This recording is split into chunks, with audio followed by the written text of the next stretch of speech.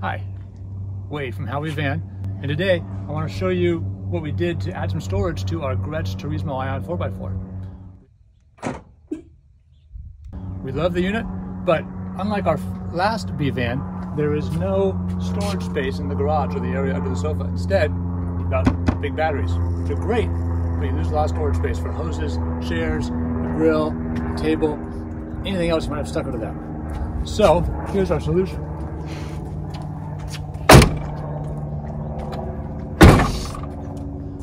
We added two boxes from Owl Vans, the medium and the large Expedition box, as well as the rear ladder tire carrier with the Expedition handle and a Rotopax attachment so we could carry a little extra fuel. You can also add water or other gasoline in there if you want to. Two boxes are fantastic. Some people do a couple mediums or one large. There's also a monster box option, but we thought the medium and the large gave us the most storage and that's really what we're going for. We also have the shovel because why not? Inside, I'll show you. There's lots of room. They're super sturdy and they hold a ton. I also want to show you how sturdy it is. Easy to climb.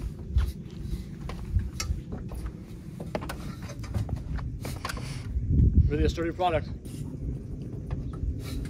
And then I'm also going to show you the view from inside. Here's the view out the back window. You can see it does obscure your view a little bit, but I find it still very drivable.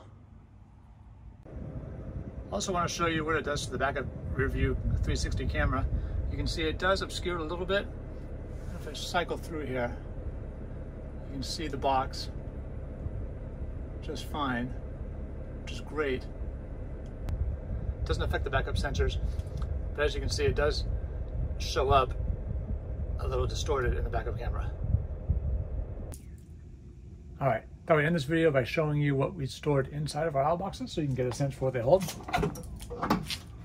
In our bottom box, we've got a camping table, a rug, some gloves, and a bag containing uh, hoses, electrical cord, water filter, uh, electrical management system, and some other random things we use at campsites.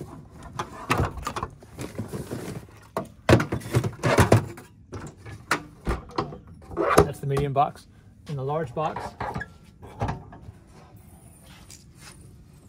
we've got our portable air compressor, a backup battery to jumpstart the car, um, toilet fluid in case we need it, the uh, recovery cord and shackle hitch receiver in case we get stuck, some leveling blocks, cone, uh, toolkit, two camping chairs,